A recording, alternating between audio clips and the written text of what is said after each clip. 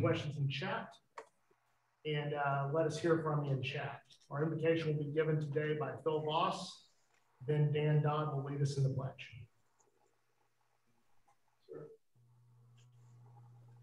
A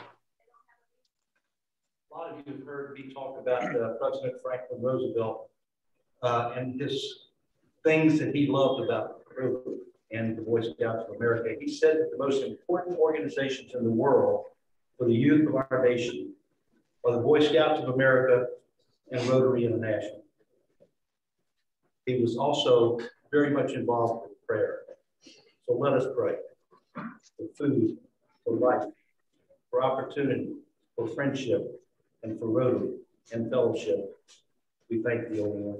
Amen. Amen.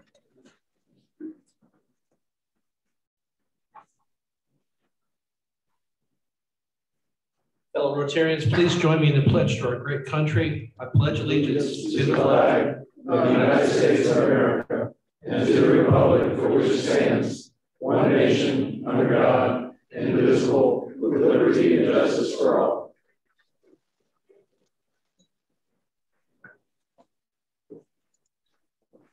President Mary Bassett. Thank you, Ike. Welcome, everybody. Thank you for being with us for the March 3rd um, hybrid meeting of the Rotary Club of West Jacksonville. Uh, thank you, Phil and Dan, for your service, and our greeters, Tim Johnson and Ron. Uh, as far as pop-ups today, I wanted to remind everybody that um, when we have our in-person meetings on the, can you hear me? Okay. Um, make sure you, you please um, RSVP to DACDB so that um, Patty can plan accordingly for the meals. Um, we do have a pop-up today from William Milne. Thank you, President Mary Pat. In about two weeks, we're going to be celebrating the annual fun tradition of St. Patrick's Day.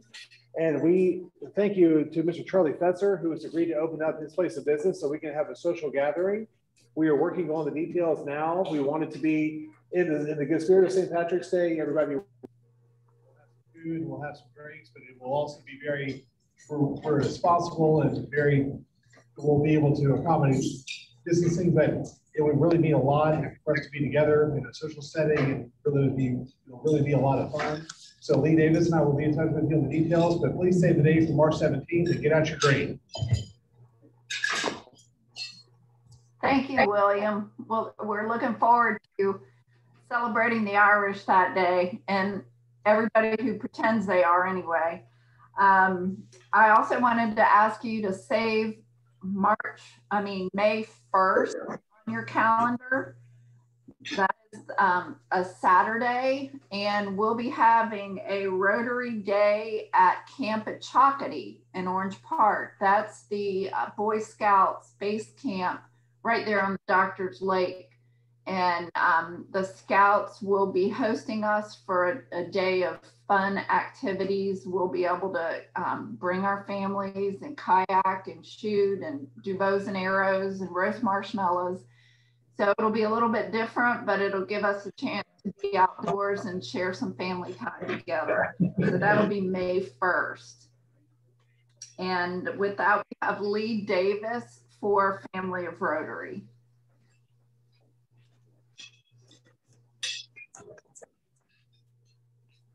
Thank you very much, President Mary Pat. Um, it's so nice to see everyone here today on this beautiful day. Um, we have a few birthdays on March 1st. We had Sue Irwin and Philip Guzman. Philippe. Philippe, excuse me. Okay. I'm sorry, Philippe. Um, Mark Frost is on the 4th. Harry Platt is on the 7th, and Dale Christ is on the 8th. Happy birthday to all of you all. And does anyone else uh, have a family event or something to share today? Okay, thank you so much again. Thank you, Lee. I did have a um, prayer request for everybody. If you'll keep my daughter Grace in your prayers, she had a um, severe anaphylactic uh, reaction to a medication that she was taking for migraines. So um, need your prayers for the next month or so as the medication runs through her system and um, we're just hoping to keep her out of the ER again. Um, so please keep Grace in your prayers. And um, our Sergeant at Arms, Dane, will introduce our guests and visiting Rotarians. And I also wanted to thank Dane for working with Marshall to um, get the technology squared away so that we can Zoom.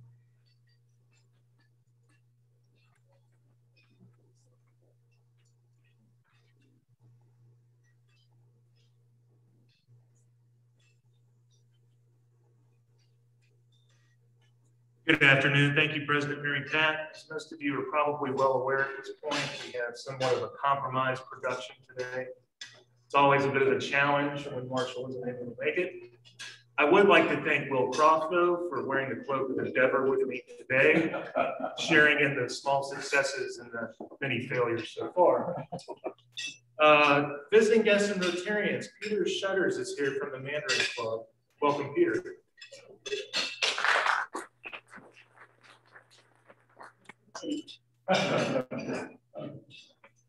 All right, now that we don't have the district governor with us, let's see if I can get this joke right. The meanest, nastiest old man in a small town walks into his local grocery store and steals a can of peaches. He's arrested on his way out, pleads guilty to the judge eventually. And the judge asks him, Sir, how many peaches were in that can that you stole? The man says, Your Honor, I believe there were five peaches in that can. Judge says, very well, I think I know what I want to do. Sir, I'm going to sentence you to five days, one day for every peach that you stole. Just then, an old woman rises in the back of the courtroom and she says, Your Honor, may I be heard? Judge is taken aback. He says it's highly irregular, but yes, go ahead, let's hear you. And the woman said, Your Honor, I'll have you know that mean old man is my husband, and uh, he also stole a can of peach. Can of beans. All right. Can't all be winners. President Mary Pat, that concludes my report. I'm not sure if I should thank you or not, Dane. Don't give up, Dave. Be back next time, guys. All right, well, A for effort. Um, also with Family Rotary, I, I wanted to announce that we had the um, uh, presentation last week about the uh, increase of industrial space and all the industrial activity in the market. A longtime Rotarian, West Jackson Rotarian Jeff Collins uh, last week closed a huge deal with Lock Tech. Uh, they're building a warehouse and ready warehouse. So congratulations to Jeff. Today's program is uh, also dealing with JAX Chamber. Our, our, guest speaker today is Dr. Carlton Robinson. Dr. Robinson is the Chief Innovation Officer for JAX Chamber's Venture Services Division. In 2014, he launched JAX Bridges, an entrepreneurial education program that served over 2,000 business owners in its seven years of operation. That program has served over 200 small businesses here locally. Other leadership positions in small business include Startup Quest, University of Florida, Lean Startup Week, and Startup Weekend. In his JAXUSA capacity, Dr. Robinson is responsible for research, strategy, and implementation of small business initiatives that assist the JAX Chamber in promoting regional economic growth from within. He has been a part of the Jacksonville community for over 20 years after work relocation brought him here from Tampa in 2000. Uh, West Jackson Rotarians, I'd like to introduce you to Dr. Carlton Robinson.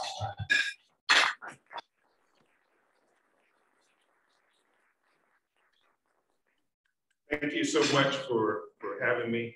Um, I was sharing with the, the few people on the way in. I'm so happy to actually see humans in person. Um, so many of us have been limited to Zoom. And, uh, you know, at the chamber, one of the most important things uh, that we have to do is we've got to lead business activity, but we've got to do it in a safe way. So there's been a lot of challenges the, the past uh, year trying to balance those. Uh, you could advance two slides. Uh, one more. So um, one of the things that I want to focus on today is really kind of talk about how resilient Jacksonville has been.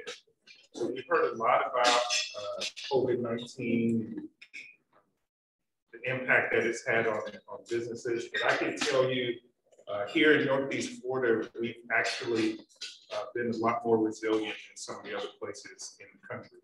And I, I want to just give you some insight as to where we were, uh, at least as a small business community, prior to the pandemic.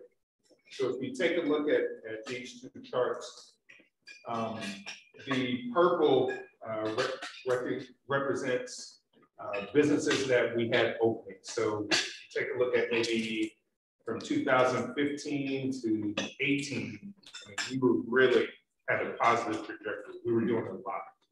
Uh, we had a little bit of a slowdown in 2019, and then obviously the pandemic hit in 2020. Um, but these are really good charts to kind of show you where we were. So we really, we kind of stabilized in 2019 and, and 2020. Next slide, please. Here, uh, what I want to show is uh, how we, as a community, really depend on smaller businesses. So my job at the chamber is to engage and hopefully help grow as many small businesses as possible. And that takes time. So a lot of people that I help today, it may take three to five years before they're adding five, 10, or 15 employees. But what I want to show you uh, today is how much our community depends on those types of businesses, which is why my team and what we do at the chamber is so important. Uh, in terms of what a small business means, so obviously most people think uh, sole proprietors, but there's another stage of small businesses, those that have two to nine employees. That area has grown tremendously in the last five to seven years here in Jacksonville. And then if we're lucky, we'll have some of those businesses grow to be 10 to 99 employees. That group of businesses that employs 10 to 99 employees is the most important group in our community. And we should really strive not only to support those businesses, but to help others grow to get to that. That's really where we start seeing businesses become enterprises. Uh, next slide, please.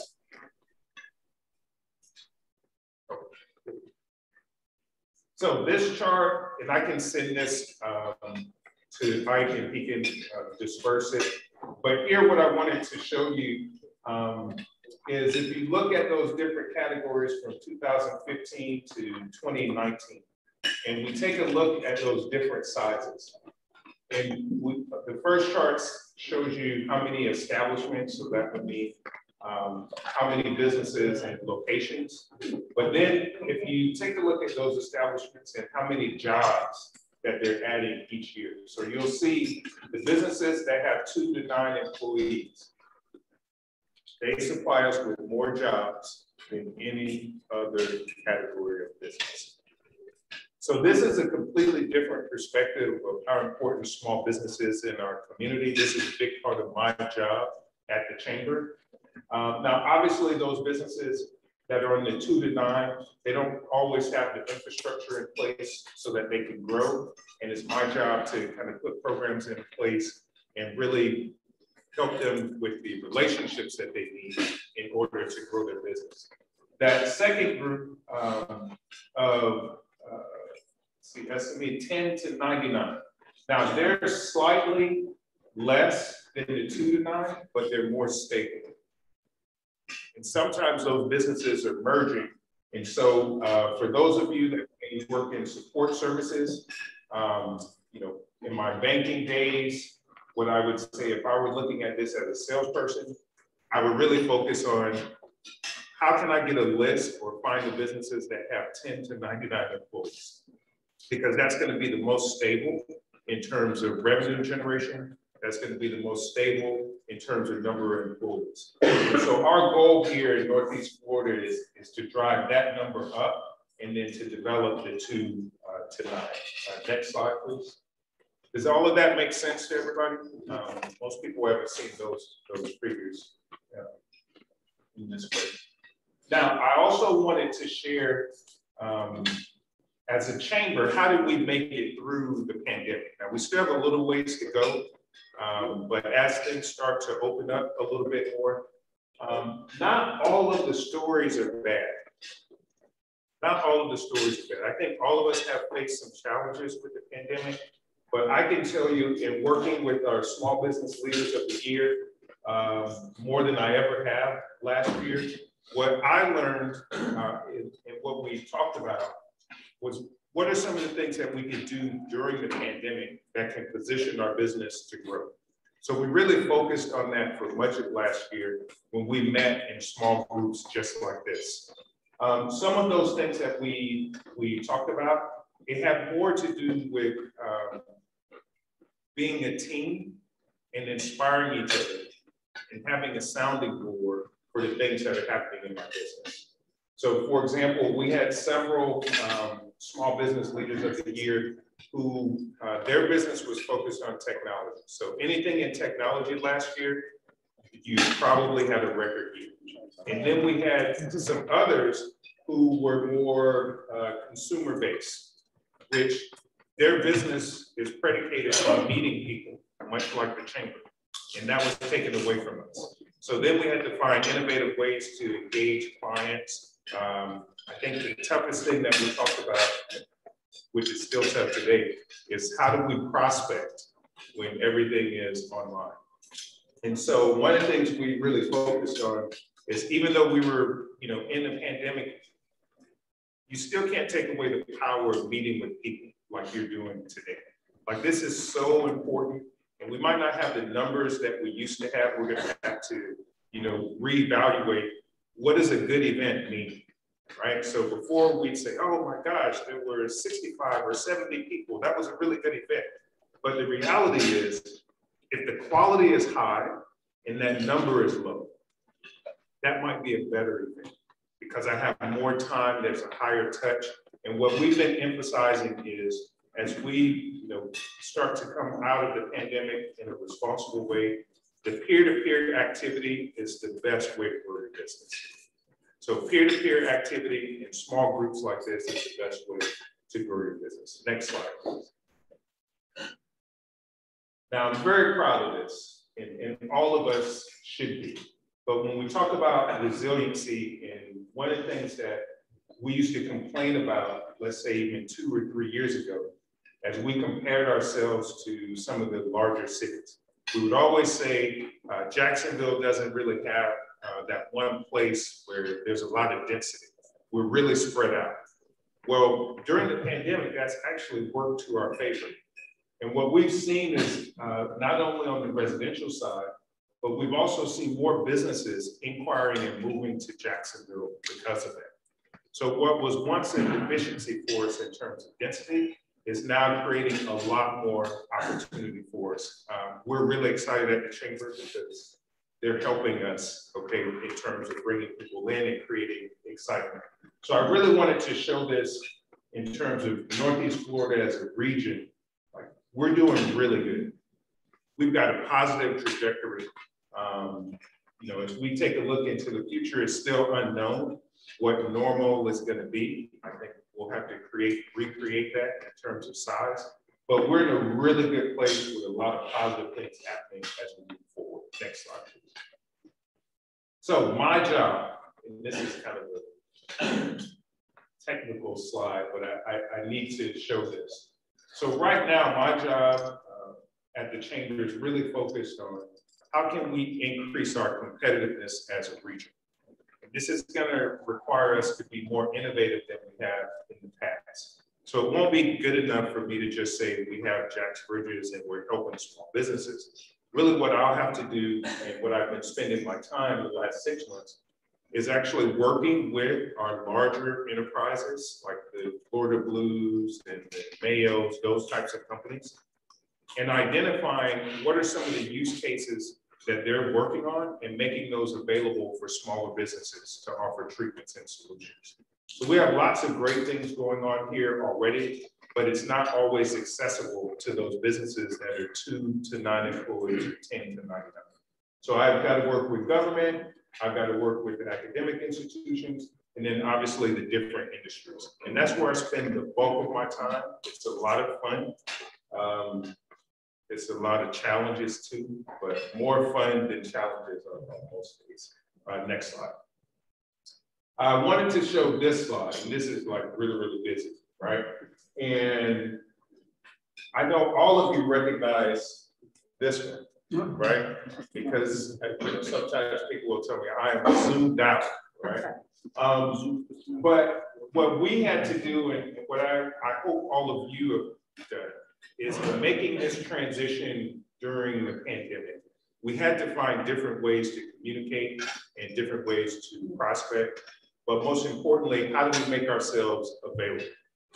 And so these are just some of the technologies that, that we focused on, but there's four key areas. Um, and, and I think all of us are affected by at least two, but things that we had to do to improve um, our ability to compete post-pandemic.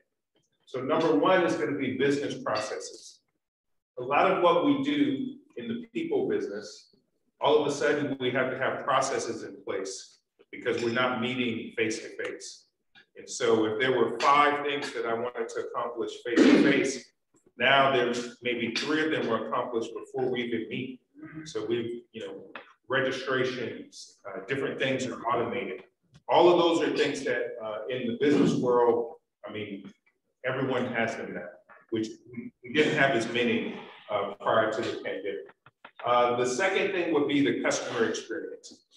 I think this is where we've won a lot at the chamber is actually creating and focusing on a customer experience. So when someone engages with us, how do they get better?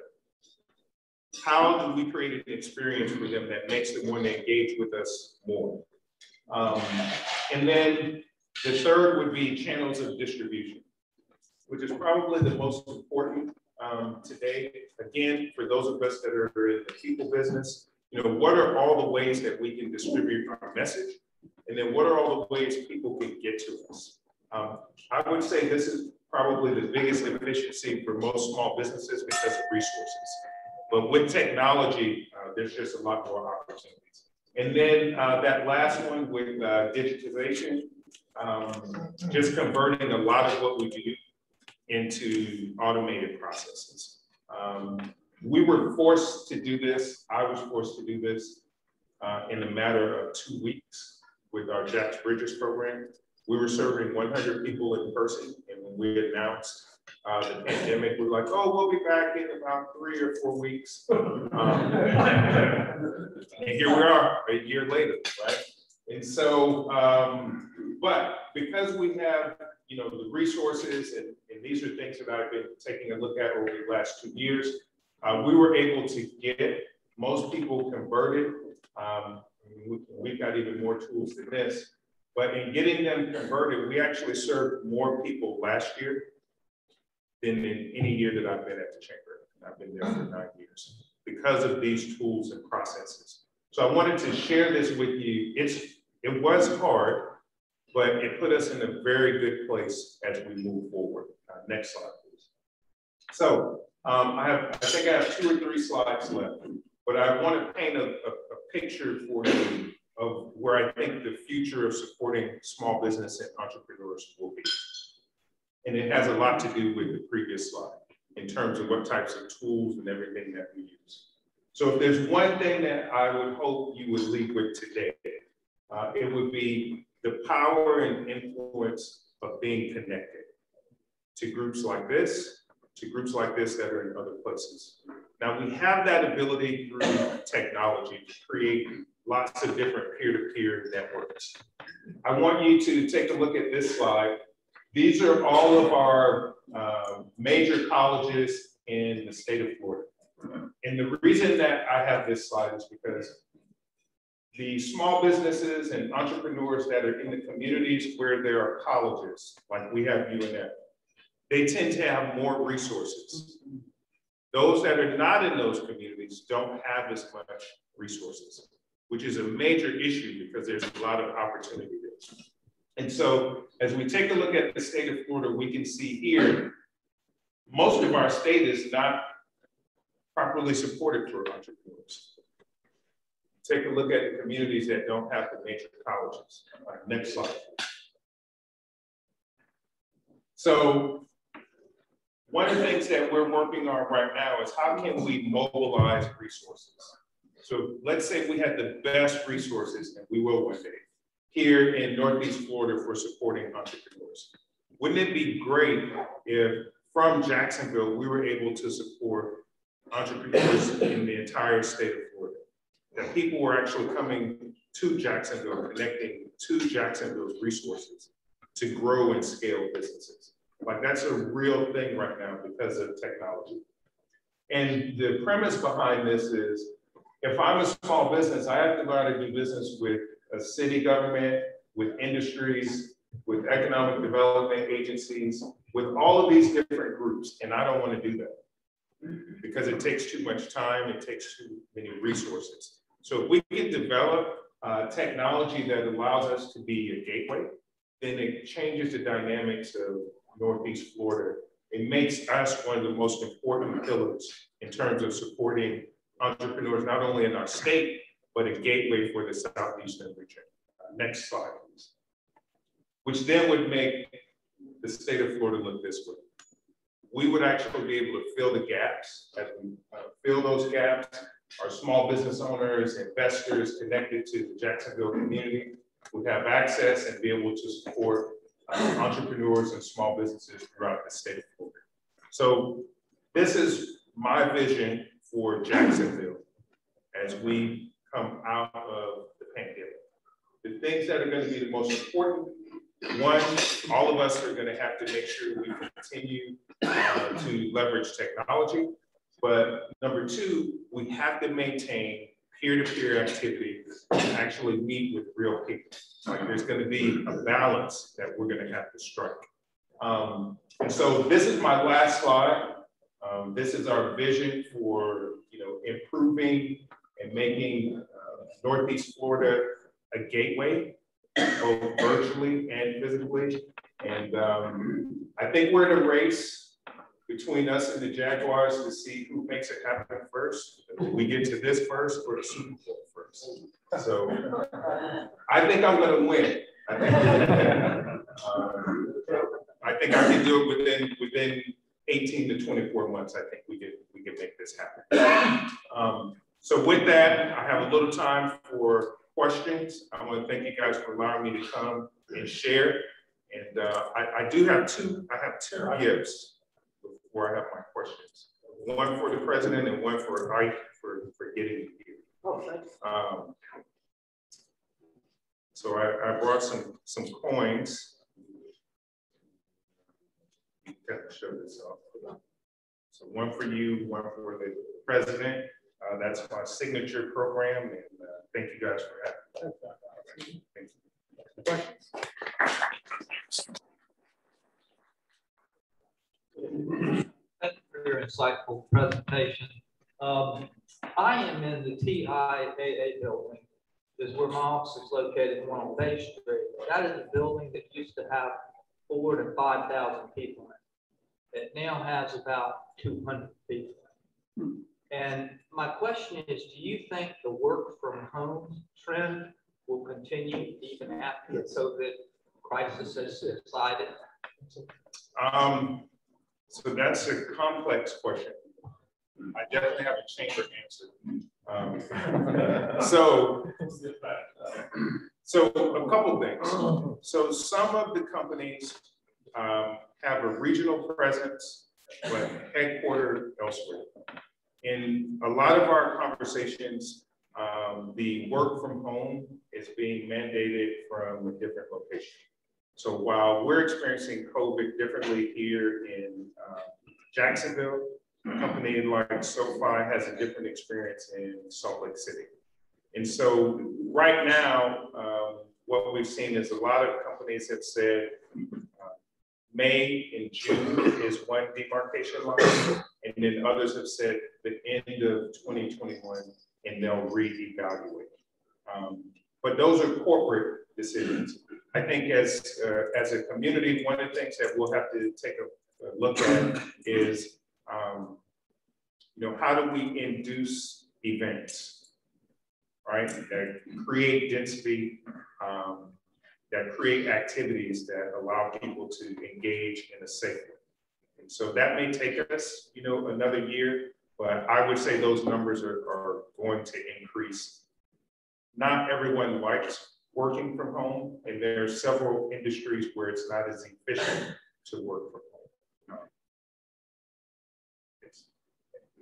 Early on, you were talking about small business, large business, start back and forth. And I, I got out of the Navy and then went into the small business area and then quickly went to the large business part. Where are we right now in Jacksonville? I mean, how do you how do you discriminate between what's small business and what's large business?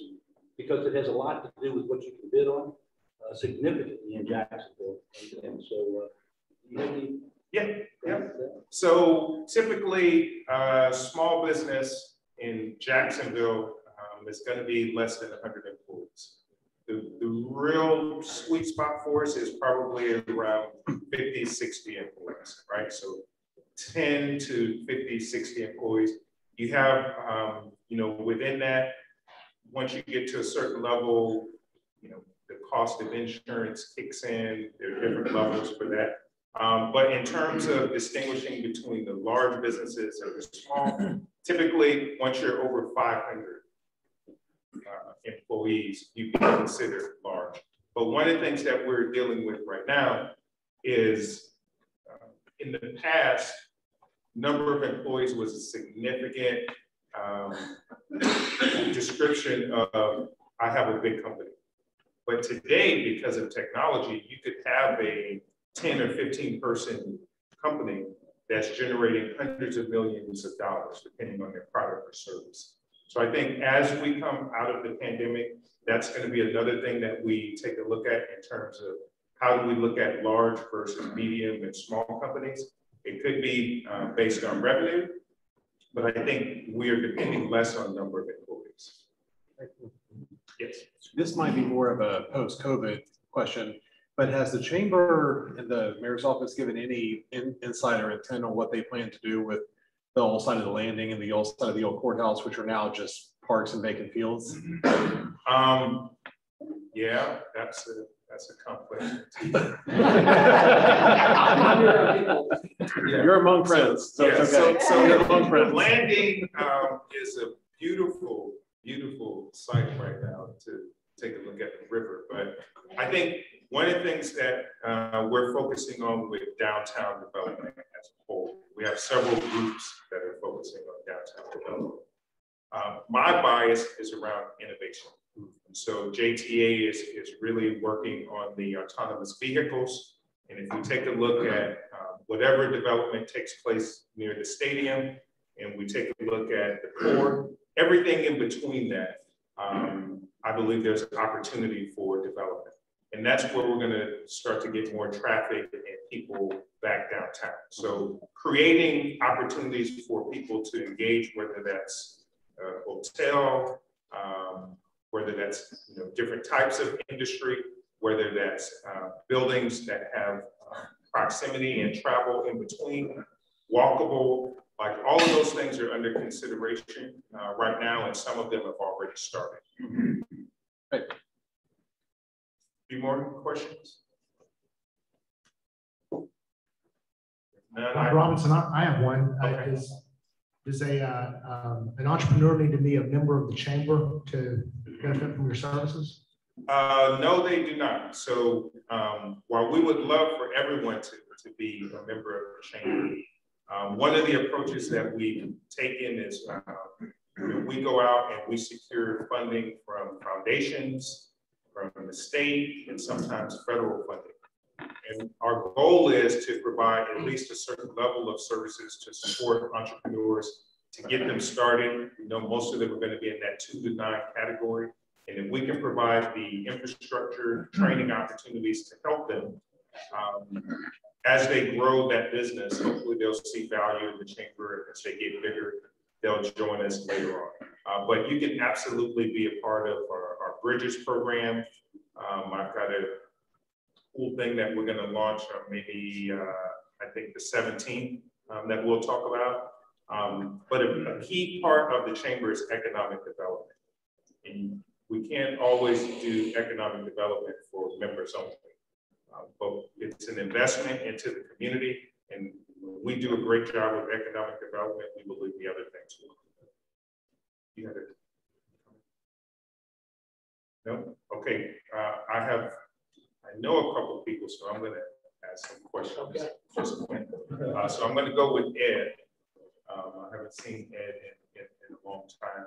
And uh, my question would be for you, Ed, is uh, you know, working with different types of clients and small business owners, uh, what would you say have been maybe the two most challenging things for you uh, during COVID? And uh, what's one thing I could do uh, to support industry?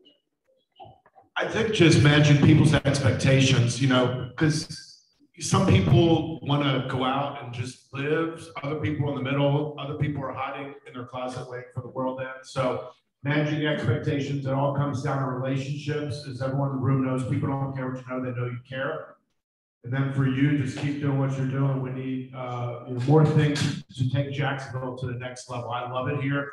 Everyone in this room loves it here, but we're the people in the future that are going to take Jacksonville to the next level. He let me off easy, so I'm going to say thank you. I'll be more than happy to come back in in a few months and give you an update on uh, things that we've done once we are able to get out into the community a lot more. So I do have a question. Uh, what Rotary Club are you a member of today?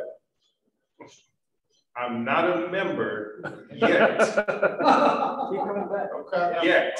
Okay, but I, I think I will be a member soon. How about that? All right. Again, thank you guys uh, so much for having me and giving me an opportunity to uh, to share. And uh, it's great to be amongst those who also love Jackson. Thank you.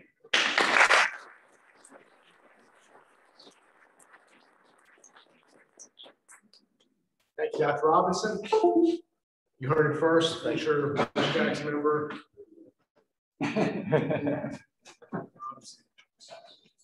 All right.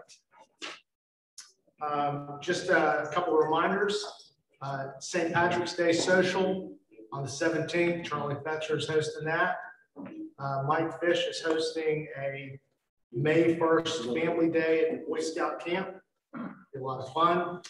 Um, next week, our speaker is Lindsey Brock. So the last naval battle of the Revolutionary War was fought March 10th, 1783 some of our members membership remembers that day. Next week, we're meeting on March 10th, 2021. And uh, I think that's 238 years, the 230th anniversary. And Lindsey Brock's a local attorney and historian that's going to talk about that battle. It's going to be on Zoom. There will be no meeting in person, so sign up on Zoom. And don't forget to RSVP for all the future in-person meetings.